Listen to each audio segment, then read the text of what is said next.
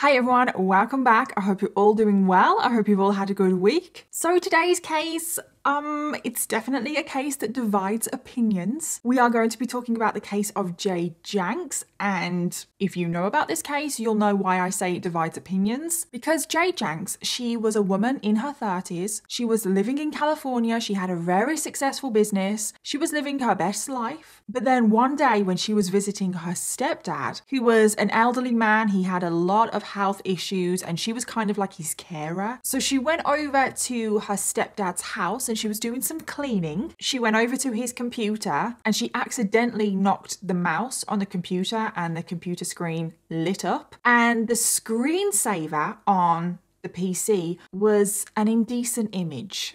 Let's just say that. Now, this completely shocked Jade, but then when she realized what the image was actually of, her world just completely shattered. And the situation on the computer, it was a lot worse than she could have ever imagined. And she was very angry and she wanted revenge. And she went about it in the most brutal way possible. And this case also happened in 2020. So this is definitely the most recent case I have ever covered. So anyway, we have a lot of uh, things to get into today. So let's jump in. I just want to give a huge thank you to today's sponsor, and that is Love and Pies. Love and Pies is a free to download mobile game where you play a single mom, Amelia Green, who is trying to restore a family cafe and build a thriving business. And this game, as you guys know by now, I absolutely love this game game so much. It is the best game discovery I have made in 2023, and that is a very bold statement, but I will stand by it. And I know so many of you are also obsessed with this game. I see so many comments from you guys saying, Oh my god, thank you so much for introducing me to Love and Pies. It's so good. I'm so obsessed. I just feel like we have our own little Love and Pies community here. And if you don't play Love and Pies, you really are missing out because it's such a good game. It is perfect for all of us mystery true crime fans here. Amelia is trying to figure out who burned down the family cafe? Where has her mom gone? Who is the purple fox? Everyone is a suspect. And right now, Amelia is kind of going round everyone in the game and interviewing them and trying to figure out was it you? Did you burn down the family cafe? It's all very dramatic, it's all very fun, and you get to bake along the way. I have one order right now that wants the ultimate hot chocolate, and oh my god, it is taking me forever. And also in their order, they want a deluxe cocoa as well So again, they want that and the ultimate hot chocolate. And there is also some exciting news because Love and Pies are celebrating their second birthday. I know, I cannot believe that Love and Pies is only two years old because it's such an amazing game. And over the next two weeks, there are going to be a ton of celebrations, including new events, new storylines. In fact, if you play the game in the next two weeks, you will get this adorable birthday cake statue. And then on top of all of that, Love and Pies are also going to be hosting a ton of events on their socials, including the Bakeout Birthday Bash, where everyone will have the chance at winning amazing prizes by baking the very cakes in Love and Pies. Which I love baking, I do, but I am not that skilled to try and bake one of the cakes from Love and Pies. I mean, these are the brownies that I recently made, and they tasted nice, okay, but they don't look the best, okay? So my baking skills are about a level one. But if you're good at baking and you can make one of the cakes from Love and Pies, you should enter because you could win an amazing prize. But anyway, there's just loads going on with Love and Pies. So there has never been a better time to play Love and Pies than right now. And if you wanted to check out Love and Pies for yourself, you can download the game for free by using the link in my description box. And by using that link in the description box rather than going to the App Store, it really does help out this channel. So I just want to give a huge thank you to Love and Pies for sponsoring today's video, but thank you to every single one of you guys watching right now because truly without all of you guys, I wouldn't get opportunities like this. And now let's jump into today's case. Jade Janks was born on the 14th of October 1983, making her a Libra, and she was born to parents Jeanette and Steve Janks. And pretty much from the get go in Jade's life, there was chaos. Because when she was just three months old, her parents got divorced. Her mom had a lot of struggles with substances. She did have a drug and alcohol addiction. And unfortunately for Jeanette, this drug and alcohol addiction, it came before everybody else, including her daughter Jade. And she just was not in the right place to be raising a child. So Jade's dad, Steve, decided that he was going to divorce Jeanette and take Jade with him and raise Jade as a single parent. So Jade's dad found a new place in San Diego, California, which is actually where the rest of today's case takes place. But then, even though there was that bit of chaos in Jade's early life, from this moment on, as far as I can tell from my research, Jade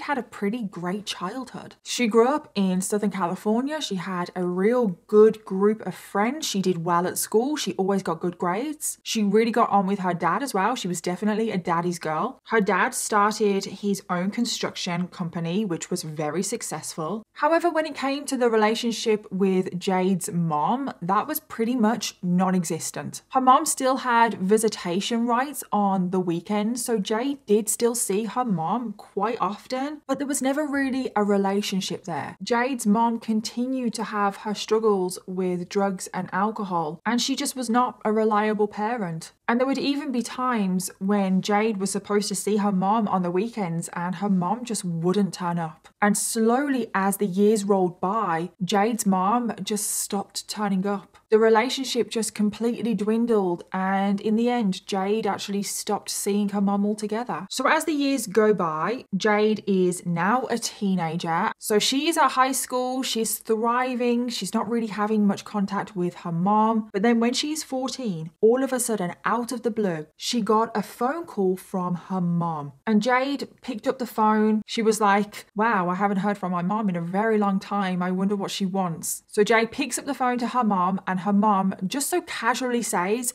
Oh, hi Jade. Just want to let you know I've got a married. Yeah, sorry for not inviting you. Oh, and I'm pregnant. You're going to have a little baby brother. Can you imagine receiving a phone call like that when you haven't seen your mom in a very long time and all of a sudden she's married and she's pregnant? As a 14 year old, that would probably hit you like a ton of bricks. And after this phone call, this is when Jade and her mom they start to reconnect because Jade, even though she hadn't seen her mom in so long and her mom was never really there for her, Jade was really excited about having a brother. She was probably also excited about the thought of having her mom back in her life again because her mom, it did kind of seem like she got her act together. So Jade goes over to visit her mom for the first time in a very, very long time. And this is also the first time that she would meet her new stepdad, a man named Tom Merriman. A man who is very significant to today's case. So, Tom Merriman was born on the 2nd of June 1956. And at the time he met Jade, so the time that he became Jade's stepfather, he was currently 41 years old. Now, Tom has been described as a very kind, very generous man. He loved nature, he loved being outdoors, and he loved gardening. And he was very much a handyman. He was just one of those people that you could phone up and he kind of knew a little bit about everything. And prior to meeting Jade's mom, Tom had been in a previous relationship and he did have a child from that relationship. And to be honest, I don't know anything about this child. Like, I don't know if Tom saw his child a lot. Like, I don't really know, so there's not really much to say. So, Tom was now 41. He had just gotten married to Jade's mom, Jeanette. They had a very whirlwind relationship. They got married very quickly. And Jeanette was obviously pregnant. She gave birth to a boy and they named the boy Cash. And Jade's mom really wanted wanted Jade to be a part of their little family. She wanted to be a family of four. So Jade, she still lived with her biological father, but she would go over to her mom's a lot. And the birth of Cash really did bring everyone together. Jade loved being an older sister. She loved looking after Cash as much as she could. However, there was kind of a problem with this new family setup, like this new family of four, was that Jade didn't really get on with her new stepdad, Tom. She didn't really dislike him, but she didn't like him. She kind of felt like Tom was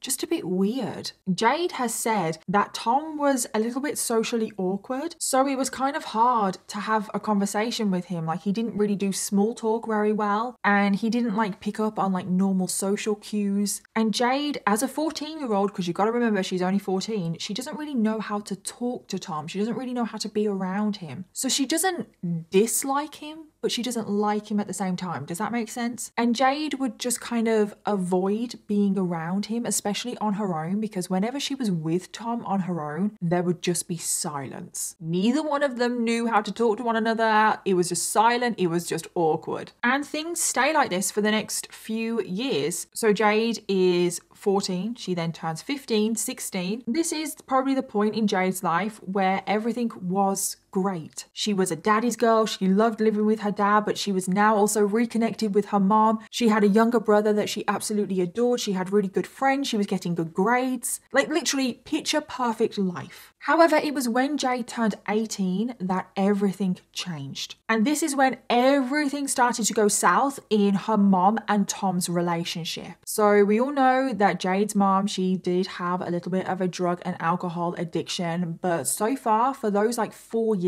she had completely stayed sober and everything was going well in Jeanette's life. However, Jade's mom relapsed. She started drinking heavily again, dabbling in drugs, and her personality just completely changed. She was now a very angry, violent person. Jeanette and Tom would constantly be getting into arguments with one another. They would both accuse one another of being physically abusive to the other. Sometimes their arguments would end in physical fights. They actually separated on a number of occasions and filed for divorce on three separate occasions. But on all of the occasions, they ended up getting back together. And Jade, she was quite often at the house when these physical fights broke out. So she kind of felt like she was in the middle of everything. And Jade's priority was her little brother, Cash. Jade didn't want her little brother exposed to all of this. And Jade could quite clearly see that it was her mom that was the problem. It was her mom that had completely really relapsed. It was her mom that was always starting the argument, starting the fights. So, because it was Jade's mom that was the problem, this made Jade and Tom, her stepdad, grow closer because Jade was actually on Tom's side. Whenever an argument would break out, Jade would always back up Tom. And over the months, Jade and Tom started to confide in each other. I think both Tom and Jade were really hoping that Jeanette would clean up again and she would get her act together, but she never did. So both Jade and Tom are becoming increasingly concerned about Cash. And then eventually the time came where Cash was going to attend kindergarten. And he was so excited about this. He was literally telling everyone that he could. However, when it came to his first day at kindergarten, Cash woke up that morning. He was so excited. He got all ready to go. He got his little backpack and he was waiting for his mom to take him to kindergarten. But his mom never woke up. The night prior, she had gone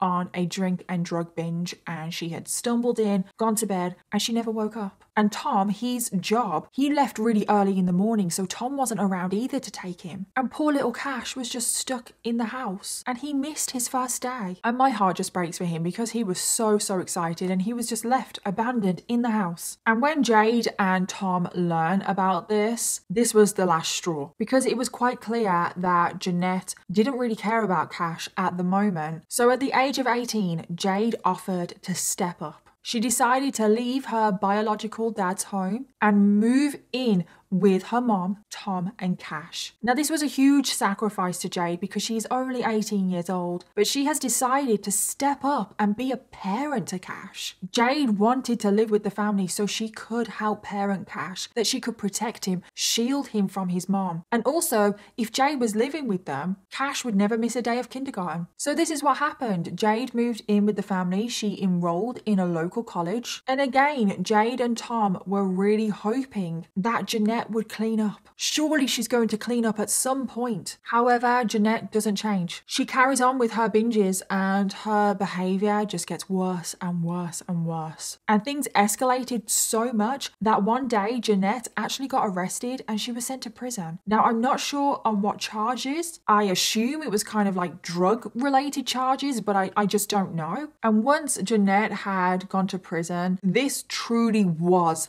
the last straw for Tom and Jade. They had to act. They couldn't just sit around anymore and wait for Jeanette to change. So, whilst Jeanette was in prison, Tom and Jade packed up all of their belongings and they moved out. They found a new place and they took Cash with them. So, now going forward, it was Tom, Jade and Cash. They were now living together. Tom was currently 45 years old, Jade was still 18, and Cash was currently 4 years old. And Jade and Tom now shared the responsibility for Cash between them. And from this point forward, everything is now great because the problem was Jeanette. But now Jeanette is no longer in the picture. Jeanette does eventually get out of prison, but she doesn't move back in with the family. So Jeanette is now out of the picture for right now. And Jade and Tom, they become so close, like even closer than they were before. Tom starts calling Jade his daughter, and Jade also started calling Tom her dad. And then eventually, Jade does graduate from college and she starts working for her biological dad because he has a very successful construction company and she starts working for him. She starts doing the books and everything. However, as soon as Jade starts to work for her biological dad and starts spending a lot more time around her biological dad, Steve, this is when uh,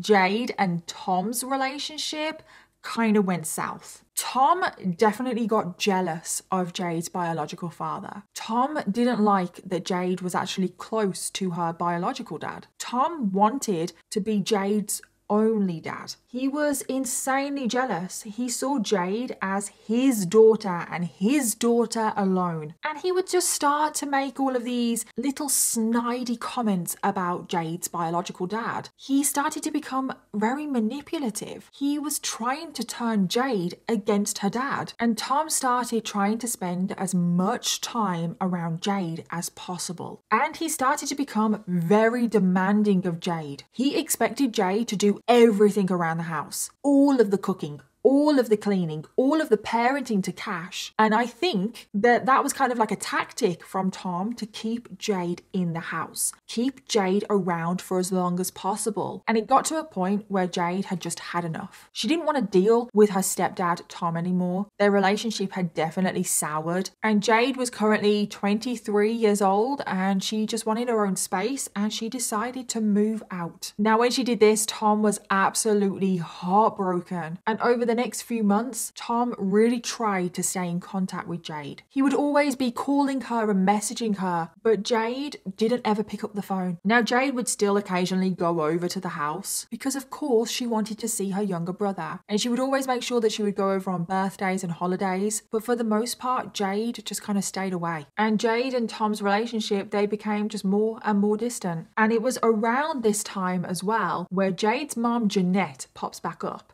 She had cleaned herself back up again, and Jeanette now wanted full custody of Cash. And she got full custody, so Jeanette took Cash and left. So now, Tom, in a very short space of time, he went from living with his son Cash and also Jade, and they were living together as a family of three for about five years. So that is a very long time. And then all of a sudden, Jade moves out, and now Cash has been taken from him. So now, all of a sudden, Tom is living alone. And now that Cash has also gone, Jade no longer has any reason to ever go over to Tom's house ever again. And Tom fell into a very deep depression. He was incredibly lonely and his life kind of just spiraled. But when Tom's life is falling apart, Jade's life actually starts to thrive because she was working with her dad at the construction company. And it was when she was working at this construction company that she realized that she loved design. So at the age of 25, Jade left her dad's company and decided to set up her own business. And she went into interior design. She set up her own business called Janks Interiors. And 10 years passed by and her business absolutely soars. And it became very well known in the local area. And it actually states on Google that Jade Janks had a net worth of $15 million.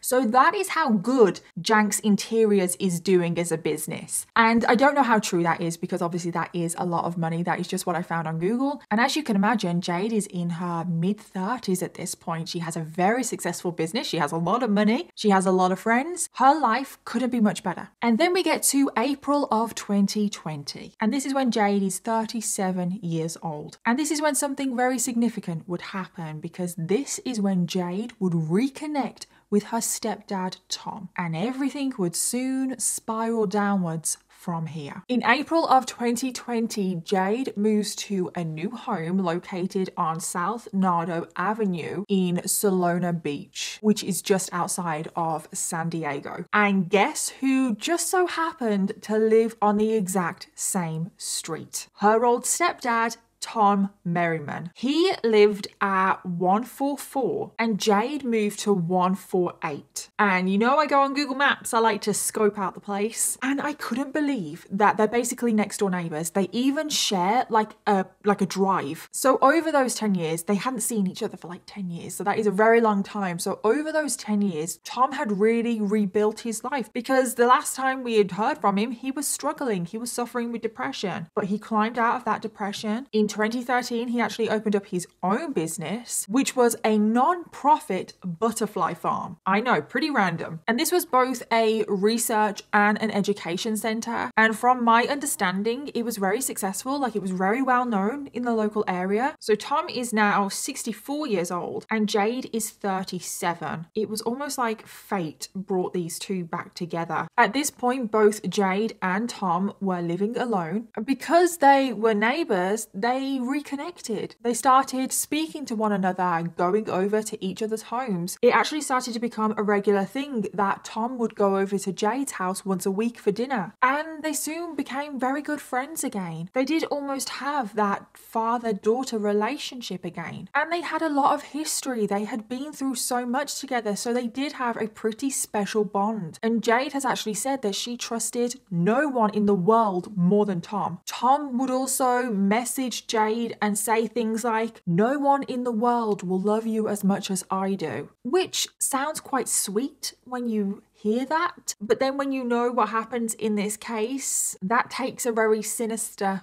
meaning and it definitely creeps you out a little bit. However, there was one thing that soon kind of became a problem and that was Tom's health. Now, he was in his late 60s and it had been a while since Jade had seen him and his health had deteriorated quite a lot. He had built up a number of medical conditions and he had quite a lot. I have them written down here because I cannot remember them all. Um, he had liver dysfunction, a pacemaker, an enlarged heart, congestive heart failure, swollen and congested lungs, emphysema from prolonged smoking, 30 to 40% blockage of his arteries, and I swear there was actually a few more, but there was just a lot that he had, okay? He was really struggling. His health just was declining more and more, and Tom just didn't know how to handle this, and he turned to alcohol and also Xanax to deal with his problems, and he soon developed an addiction, especially to Xanax. And then Jade appeared back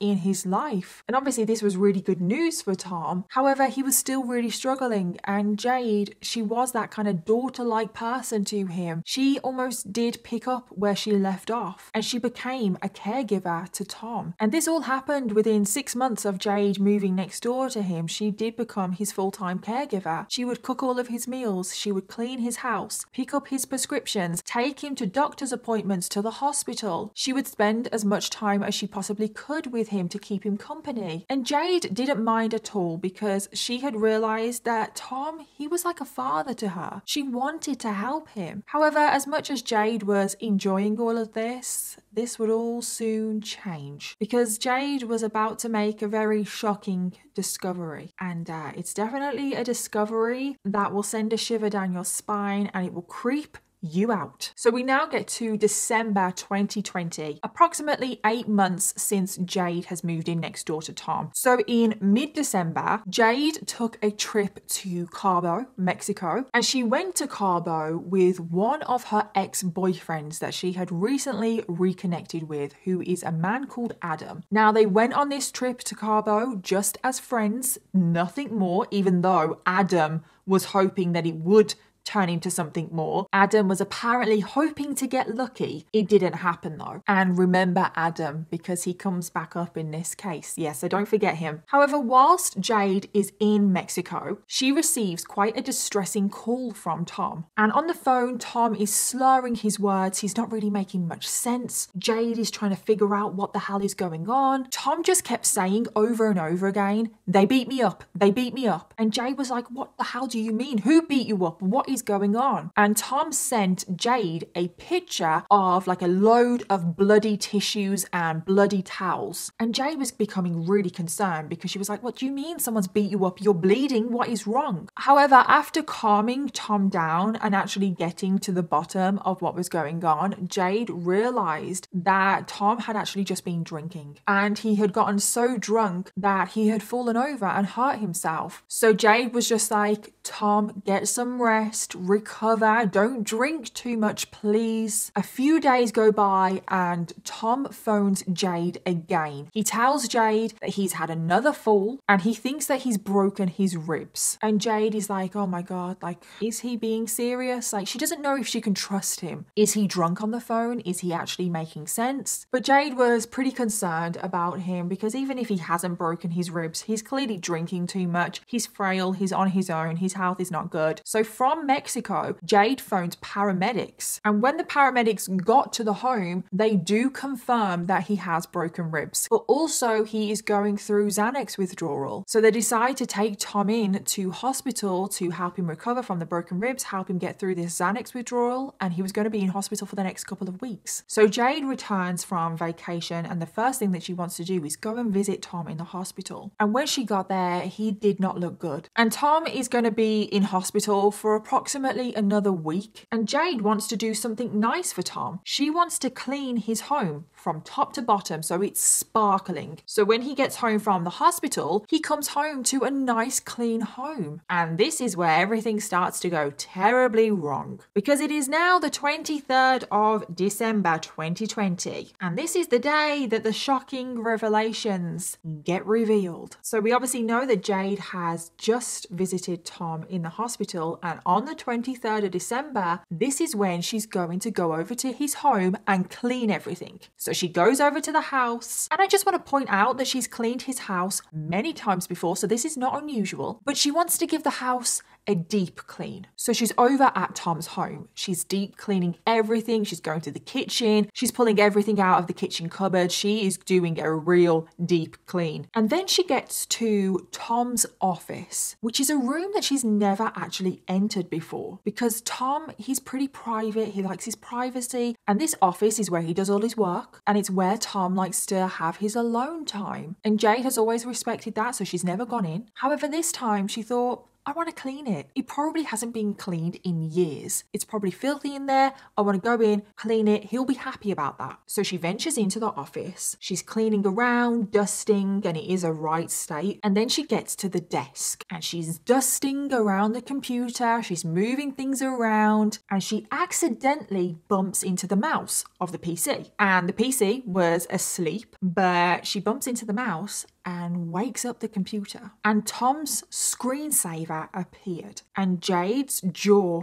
hit the ground. She could not believe what she was seeing. Because you know, this screensaver, it wasn't your usual screensaver. You know, the usual stock pictures of mountains or trees or the ocean or like weird moving, like circle blob things. No, no, no. This screensaver was none of that. Tom's screensaver was a large, zoomed in picture of a woman's breasts. Yeah, you heard that right. Just the breasts on the screen. Nothing else, just the breasts. And Jay was like, it's a bit weird. Like, really? Like, as the screensaver? But then she does a double take and her whole world shatters. Her brain has finally fully processed the screensaver, the picture, the breasts, everything. Her brain has finally caught up and she's like, oh my God. Because the breasts on Tom's screensaver, they weren't from any random woman or anything like that, any kind of picture you could find on the internet. No, because the breasts on his screensaver belonged to Jade. Yeah, mm-hmm, yeah, yeah. Oh my God, I know. Jade was now looking at a nude picture of herself, which was her stepdad's screensaver. Now, she knew that the boobs on the screensaver were hers because she has a pretty unique beauty mark on one of her breasts, and the breasts on the screensaver had that beauty mark. So she knew that they were her boobs. And it's almost like time stood still, but also moved very quickly at the same time because she was like, How? How? How? How are my boobs on the screen right now? How does he have this picture? She couldn't make sense of what she was seeing. She just kept thinking, there's no way, there's no way, there's no way. She thought she was losing her mind. I mean, you would, wouldn't you? And then after a few moments, Jade finally composed herself. She wanted to find out where the hell he had gotten this photo from. Was there more? What is going on? So she decided the next best thing to do was to go through Tom's computer. She wanted to try and find the original photo. Where had he got it from? So Jade sits down at the desk and she starts going through the computer. She starts going through all of the files. And what she would find would shatter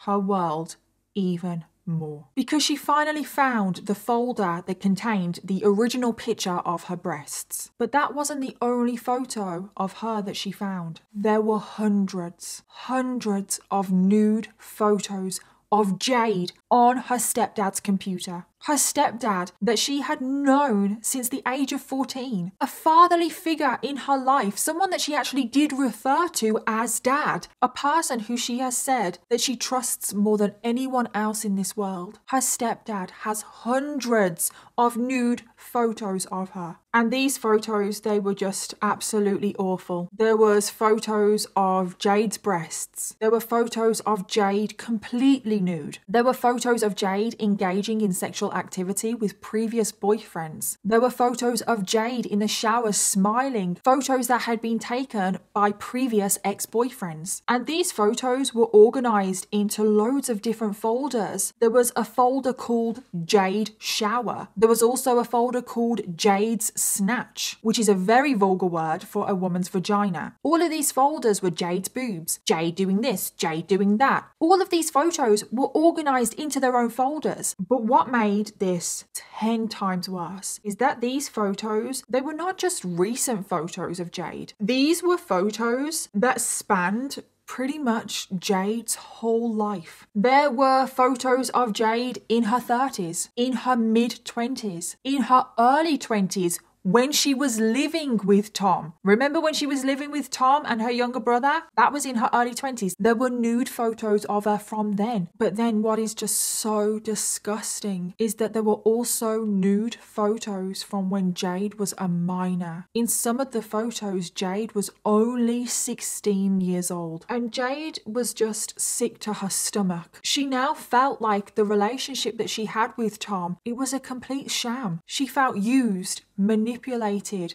violated, and abused. And where did Tom get all of these photos from? That is what I want to know. Well, there are some conflicting sources on how he got these photos. However, it seems from a lot of things that I've read that Jade realized that a lot of these photos were stolen from her. So a lot of these photos that were on Tom's computer, she had taken herself or an ex-boyfriend had taken of her. So over the years, she had taken a number of nude photos and shared them with boyfriends friends. She had also taken videos and photos of her engaging in sexual activity, and she stored all of these photos, videos, everything on an SD card and on a laptop. However, at some point, both her SD card and her laptop, they went missing. At the time, Jade didn't know what had happened to her laptop and her SD card. However, now she kind of thinks that Tom clearly stole them. But it's thought that that is not the only way that Tom got access to all of these photos. It's also thought that Tom could be accessing Jade's computer over the years. So clearly logging into her cloud account or something like that and secretly downloading all of these files for himself. And then to take it to another level, another creepy, disturbing level. Some sources also say that Tom set up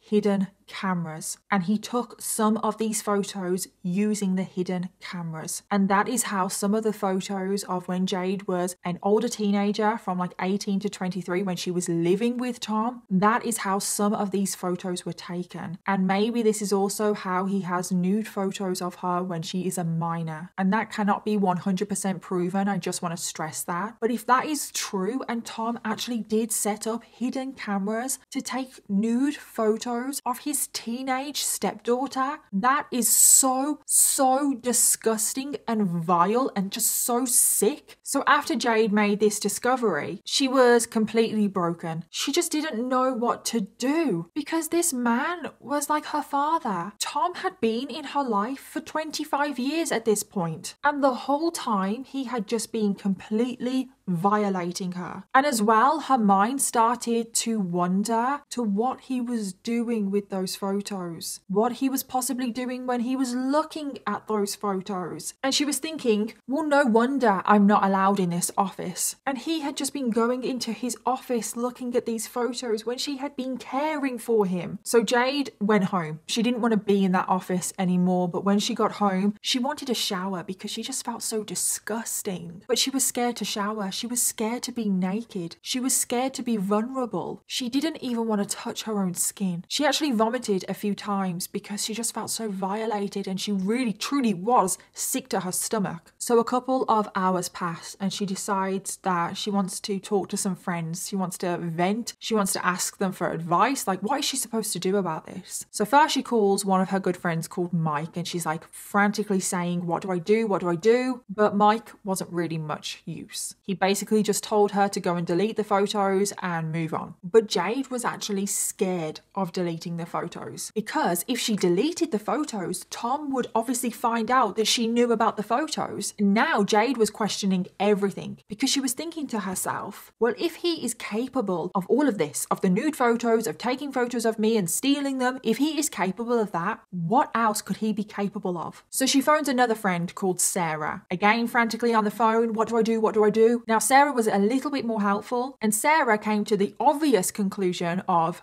go to the police. However, Jade also didn't want to go to the police. She didn't quite know what the police could do. Could they even do anything? And again, going to the police, Tom would find out. And I've got to say, I think she should have gone to the police because this is a crime, especially if Tom had nude photos of a minor. That is 100% a crime. And I do think the police would take that very seriously. Um, but Jade is just not thinking like that. She doesn't think that they will take her seriously. So once again, Jade was left not really really knowing what to do. And she was left home alone trying to figure out what to do in this completely unreal situation. So, as she was trying to process what to do, Jade remembered something. Over the years, one of her very close friends called Sam had always told Jade about this one guy that they referred to as the fixer. And this guy, you could go to him, doesn't matter how big or small your problem was, he would fix it. And Jade remembered this. She remembered this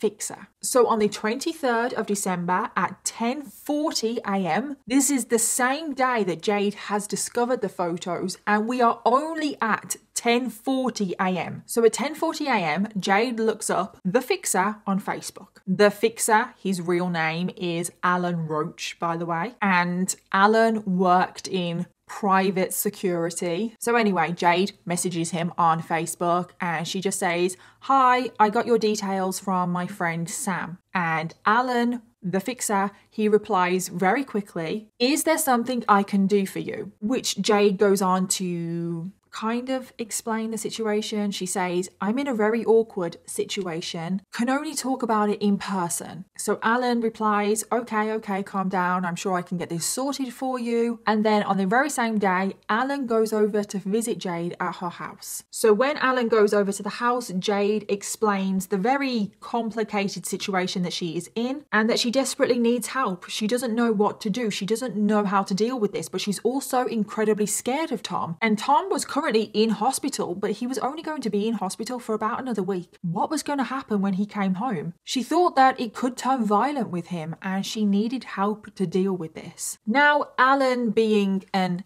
expert in private security, he was like, Well, first thing we need to do is set up cameras around your house, which is exactly what he did. Alan also said that she should keep a weapon in her bedroom, so Jade actually started sleeping with a knife by her bed. And then Jade placed a large piece of blue tarp on her bedroom floor, and she actually started to sleep on this blue tarp. Because in Jade's mind, she thought that if someone broke into her home, i.e., Tom, and he came into the bedroom, he would walk on the top, it would make a lot of noise, and it would wake her up. Which, yeah, seems a bit strange to me, but that is what she was doing. And then once Alan had set up all of the security around the house and everything, Jade felt that she was ready to take a shower because she hadn't taken a shower. She didn't want to be vulnerable. She didn't want to take a shower. She didn't want to be naked. But she said that she only felt comfortable if Alan stood outside of the bathroom whilst she had a shower. And Alan did this, and Jade had a shower, and she was all good, she was all happy, and then Alan left. However, from this point going forward, Alan would go over to Jade's home every single day to stand outside of the bathroom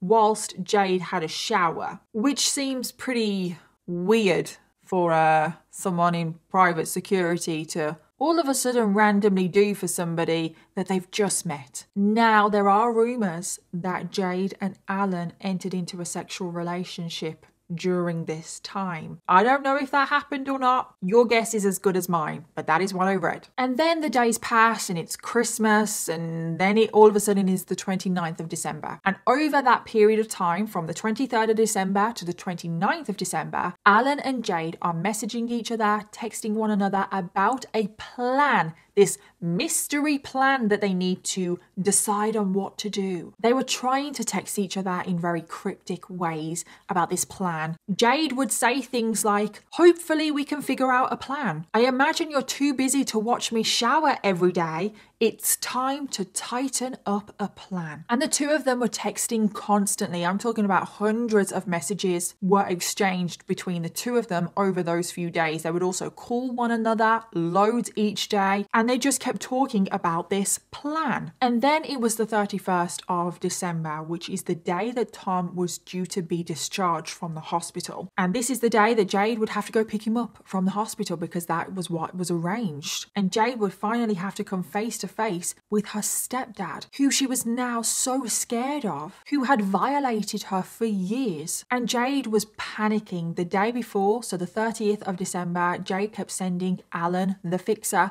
hundreds of texts saying things like quote my mind is spinning. I'm giving this some thought. I have an easy solution. She also sent another message to a friend saying quote i still struggle with moral issues yet i will never not be looking over my shoulder. So i made the call now, what does she mean? I made the call. I have an easy solution. What does she mean by this? Well, whilst it cannot 100% be proven, all of these messages referring to the plan was that she wanted to murder her stepdad, Tom. That was the easy solution. After finding those photos and after her world just completely shattered and came crumbling down around her, Jade decided not to go to the police. She also decided not to confront Tom about this. She also decided to not publicly expose Tom for this. No, Jade jumped straight to murder. And this whole plot of murdering her stepdad, the whole plot, the mysterious plan between her and the fixer, occurred within just seven days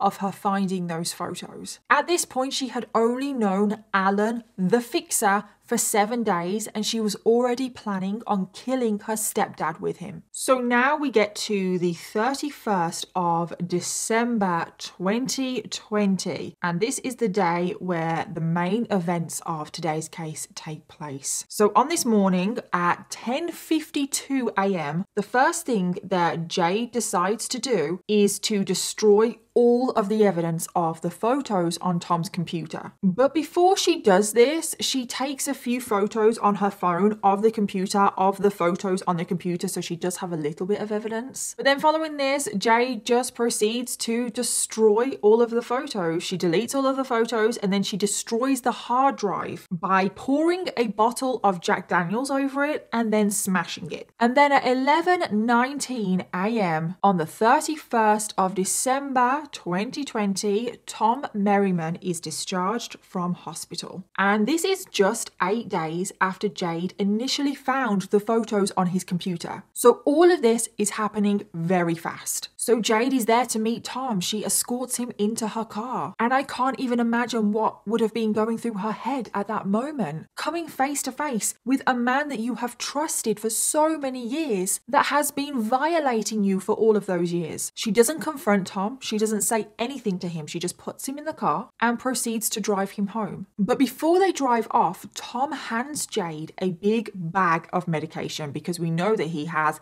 so many health problems. He's on so much medication, and this is filled with so much medication, half of it that I cannot pronounce, but it includes oxycodone and trazodone. But all of this is pretty significant, all of this medication, because then we get to 11:30 a.m. This is just 11 minutes after Tom has been discharged from the hospital. And this is when Jade sends a text message to Alan, the fixer, that said, quote, I just dosed the hell out of him. Yeah, those were her exact words. I just dosed the hell out of him, clearly indicating that she has just pumped Tom full of drugs. All of the medication that he has just been prescribed, she has just pumped him full of it. And then following this, she sends another message to Alan the fixer that says, quote, stopping at Dixie Line to stall, let me know. And Dixie Line is a hardware store, from my understanding. And when she went into Dixie Line, she bought zip ties, towels, and two pairs of gloves. Now, what does that sound like she's planning to do?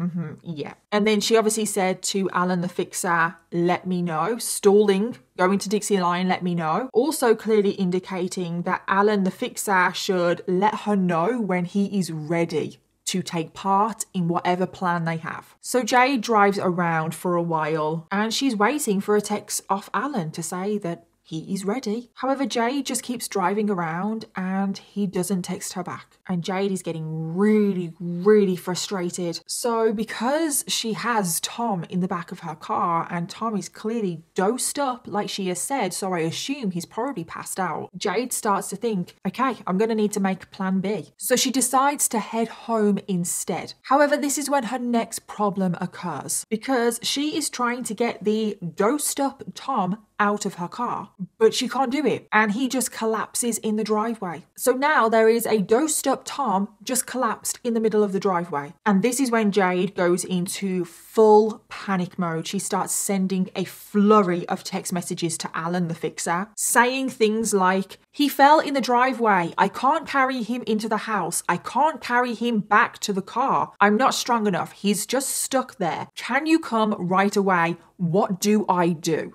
But Alan the fixer, he ghosts her. He's not saying anything. So once again, Jade is forced to change another plan because right now she needs to get Tom out of the driveway. So this is when she texts her ex-boyfriend Adam. He is the one that she went to Mexico with. Now Jade has texted Adam and she says, "My stepdad is in the drive, passed out drunk. It's an emergency. Can you come quickly?" But Adam just responds and says, Oh, no, sorry, I'm getting a tattoo. Can't help you. So Jade is forced to text another one of her friends, a person called Charles, but he also can't help. He is in the middle of the desert doing God knows what. So now she texts another one of her friends, a woman called Sarah, and Sarah was one of the people that Jade asked for help when she first discovered the photos. So she messages Sarah and says, quote, he is alive. Please don't ask me any questions. Just help me get him into the house. Which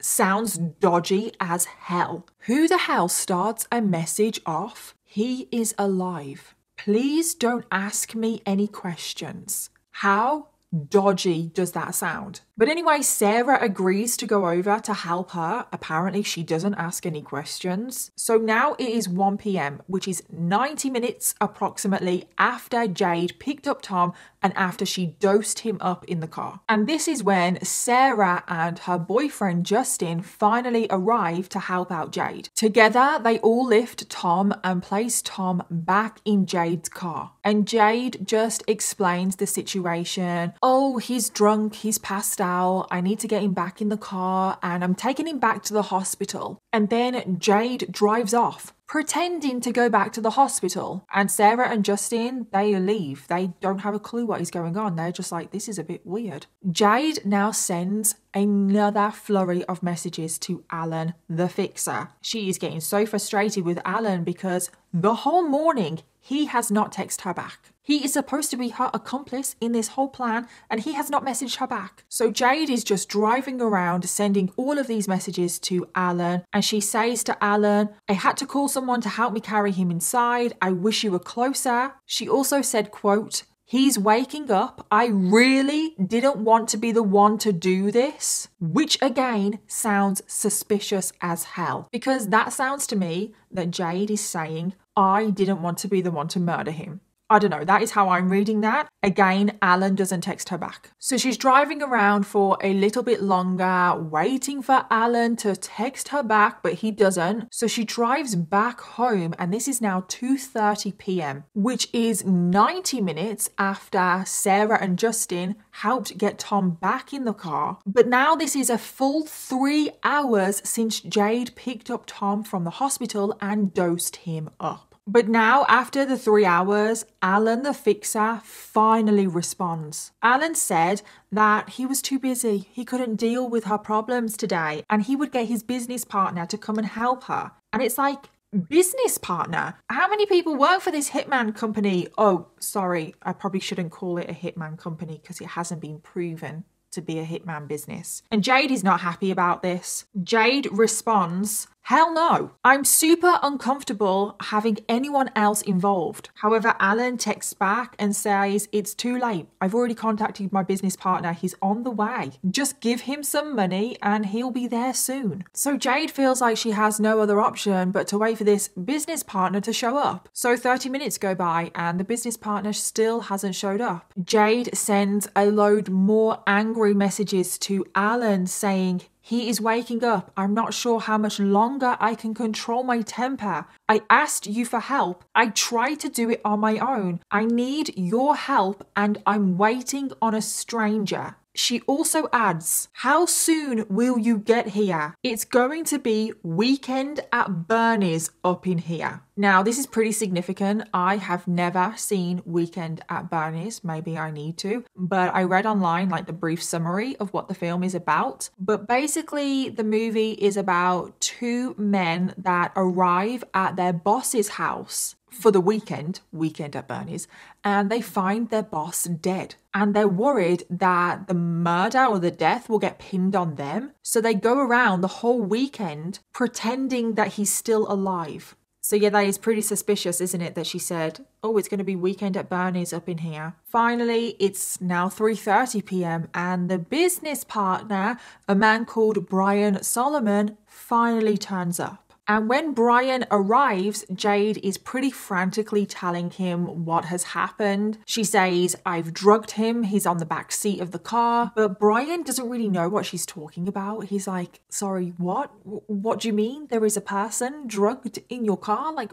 what are you talking about here? Because Alan the fixer, his business partner, had given him no information. All he was told is that a woman called Jade needed his assistance. So Brian was like, so what do you want me to do? Like, what is it exactly that you need? And Jade just calmly says, I want you to strangle him. I'll take care of the rest. And then she also adds, Oh, there's some rope in the car that you can use. And Brian was like, Sorry, what? You want me to strangle somebody? Because it turns out that Brian wasn't a hitman. Jade had expected a hitman to be showing up. And that was not Brian. So Brian just says to Jade, I just need to talk to Alan for a second. Please excuse me. So Brian goes to make a call to Alan outside, but he actually just runs off. He's like, I'm out of here. I'm out. I'm not doing this. Brian thought that he was just at Jade's house as a good deed to just help somebody out. He had no idea what he was walking into. But does he go to the police, which is possibly what he should have done? No, no. No, he doesn't. So the big plan, even though they had been planning this for like several days now, it was not going to plan, was it? Alan was a no show. He was just ghosting her. He was not being helpful at all, and he was definitely not fixing anything. Her ex boyfriend, Adam, is too busy getting a tattoo to even bother to turn up to help her. I mean, Adam doesn't actually have a clue what is going on. And then Brian, the business partner, has just run off. So then at 4 pm, Jade sends a load more text to Alan saying, What the hell happened to Brian? Where did he go? I asked for your help. I can't do it alone. He is waking up and getting way more aggressive. I can't keep a kicking body in my trunk. I'm about ready to club him which again does not look good, does it? So now Tom is in the trunk of her car, and I honestly don't know how he got there. But even though Jade is texting Alan, Alan is ghosting her again. So Jade texts her ex boyfriend Adam again in desperation, but he is still getting a tattoo. And then 6 pm rolls around. This is two hours after Brian, the business partner, ran away. And Alan, the fixer, finally responds and says, Sorry, I've got family stuff I'm dealing with. I have a better idea, but it can't be taken care of tonight. Can't afford a messy job site. Again, incredibly suspicious. They are clearly talking about a murder and they really do think that they are being so intelligent by saying things like, messy job site, can't afford that. So once again, Jade is left completely on her own because Alan is busy with family stuff. However, it is now 7:30 p.m. 8 hours after Jade initially picked up Tom from the hospital and dosed the hell out of him. And Tom is still in the trunk of her car. And this is when Adam, Jade's ex, finally shows up. Yeah, he's finally finished getting a tattoo. And when Adam gets to the house, Jade is absolutely distraught. She is frantic, she is panicking, and Adam had no idea what he was walking into. And this is when the huge revelation comes out. Because in the last few hours, whilst Tom is stuck in the trunk of the car, Alan was ghosting her, he was a no show, he was not helping, the business partner was also not helping. Jade was completely on her own. And Jade decided that she had to take matters into her own hands. And when Adam finally showed up, Jade was just having a complete mental breakdown because of what she had just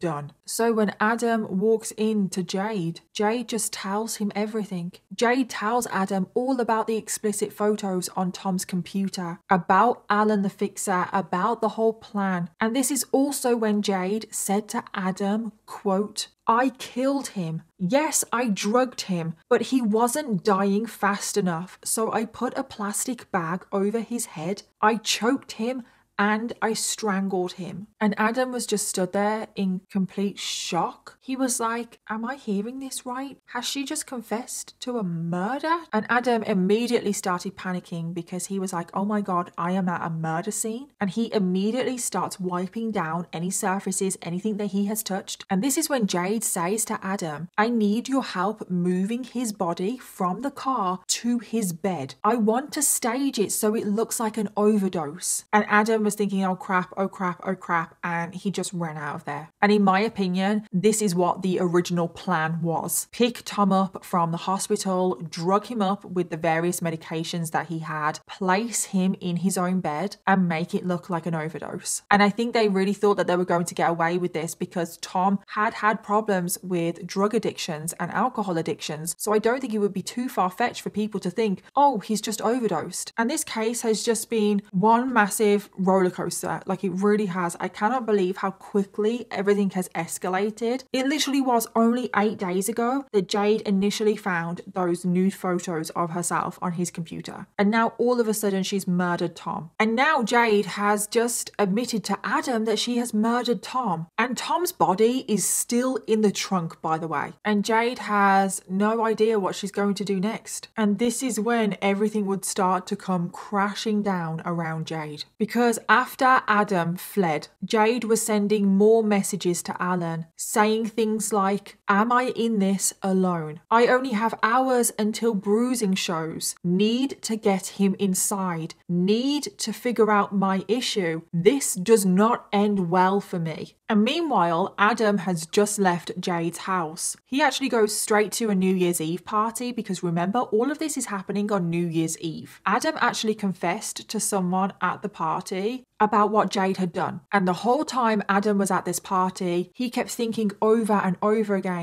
what should he do? Should he go to the police? What is the right thing to do and then finally at 9:30 a.m. on New Year's Day Adam dials 911 to report what Jade has done so it is now New Year's Day Jade is still texting Alan the fixer constantly she messages him over and over again please help me. I need help. I just need to get him inside. Plan B does not end well for me. But again, Alan just keeps ignoring her. Jade also messaged a number of friends on New Year's Day asking for help but no one responded to her. And then later on that day, around 5 pm, Jade received a phone call from Tom's brother saying that detectives were looking for Tom. And Jade was like, oh crap, they're on to me. Jade continued to text Alan the fixer saying, I really need to clear the trash in my driveway. If anyone knows, this place could be swarming. I have a pile of trash I really need to get rid of. Can you send someone? But did Alan send someone?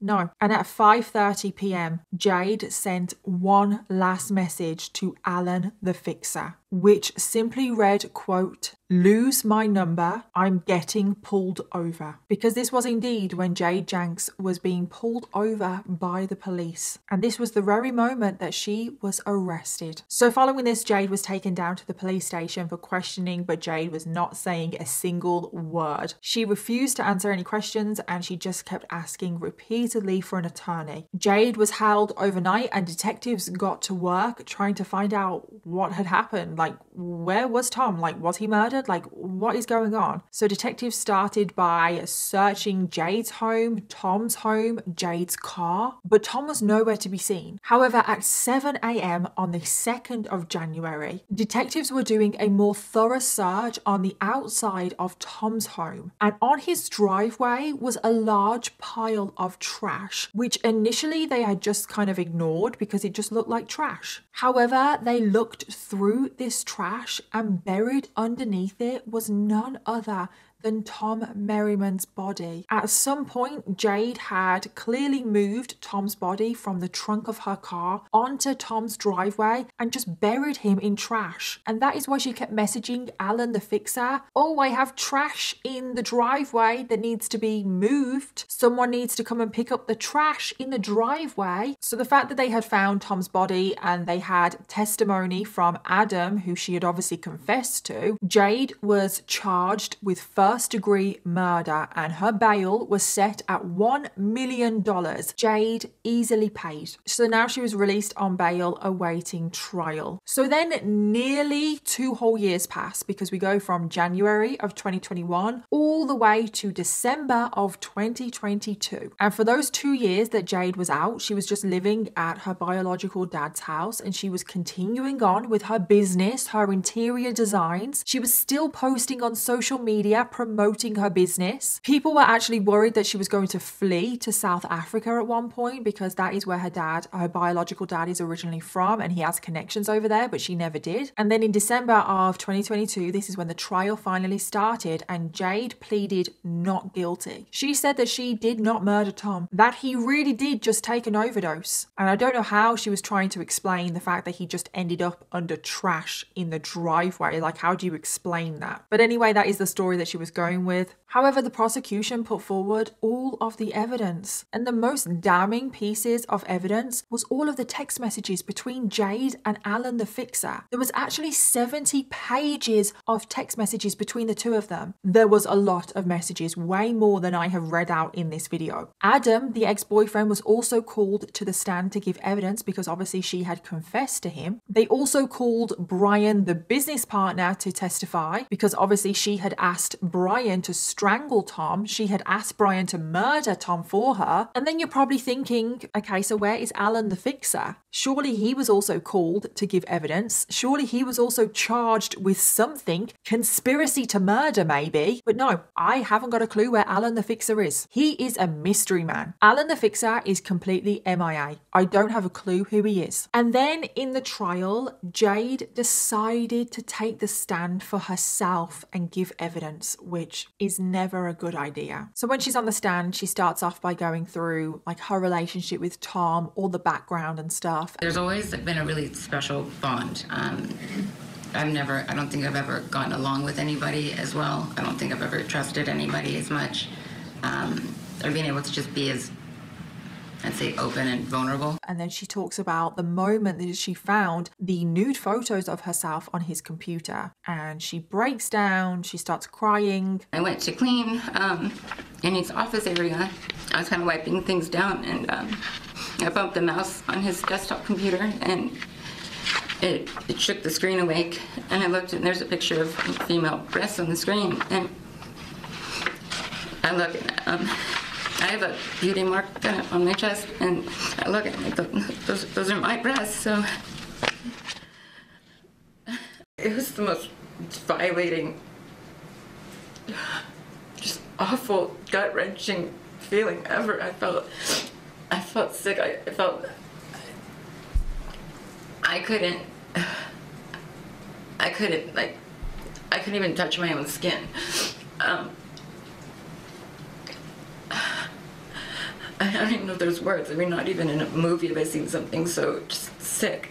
And Jade also tries to explain the text messages and she just says that they have been completely taken out of context and that the so called mystery plan that she was talking about is that Jade and Alan the fixer, all they were planning to do was confront Tom about the photos, get him to delete the photos, and then force him to leave his home, move away so he's nowhere near Jade. However, the prosecution were like, that just doesn't add up. And what was a real damning piece of evidence against Jade is that she deleted the nude photos of herself before she picked up Tom from the hospital. So if her plan was to confront Tom and get him to delete the photos and make sure that he deletes all of the photos and all of the possible copies that he has, why did she delete them before she picked up Tom from the hospital? It just doesn't make sense because it's not true. And Jade also accused Brian and Adam of both lying. They're both completely lying. Yeah. Everyone else is lying. Jade is the only one telling the truth. And there was an autopsy done on Tom's body, and there was no evidence of strangulation. Tom's cause of death was listed as drug poisoning. However, I have read, and this may be wrong, that if a person is intoxicated, like Tom was, it takes barely any pressure to suffocate them because they're not fighting back. They are completely intoxicated. And because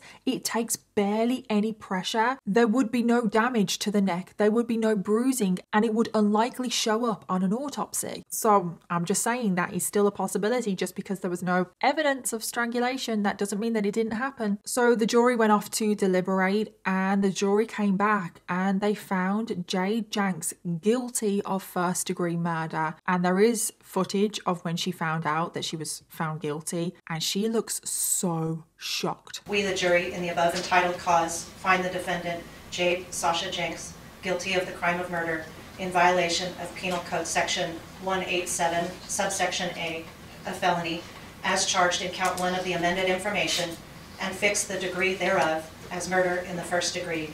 Dated today's date, signed the foreperson, and then on the 6th of March of 2023, Jade Janks was sentenced to life in prison with the possibility of parole after 25 years. So that was the case of Jade Janks. And I'm sure you can all understand why this case divides opinions. And I want to hear your opinions in the comments down below because you have some people that think what Jade did was completely wrong. She shouldn't murder somebody, even though there was these nude photos of her on her stepdad's computer computer. Tom didn't deserve to be murdered. And Jade should have gone to the police. She should not have taken the law into her own hands. But then you've got other people that think, well, good for her. Tom had violated her. This is sexual assault. Tom is not innocent himself. I'm definitely on the side of she should have gone to the police. Even though what Tom did was absolutely disgusting, like, oh my God, I can't even imagine the hurt that she went through. But the police would have done something because there were nude images of a minor on his computer. That is a criminal offence. But in the aftermath of this case, Jade and her legal team have appealed the decision, but because the trial has literally only just happened, the appeal is still ongoing, so I don't know the outcome of that. So we will just have to wait and see what happens. And then following his murder, Tom Merriman was buried by his family. And after the trial, his brother went on to say, quote, We are deeply saddened at the loss of Tom. He was taken far too soon from us. He was a great father, son, brother, and friend. He was compassionate, caring, generous, kind, and selfless. We will do our best to remember him for his genius talent to grow and nurture living things. And that brings us to the end of today's case. As always, let me know your thoughts, theories, and opinions. I really want to know them on today's case. And don't forget to leave me your case suggestions in the comments down below because I always want to know what you want to hear next. Thank you again to Love and Pies for sponsoring today's video. Don't forget you can download the game using the link below in the description box. And I'll see you all in my next video. Bye.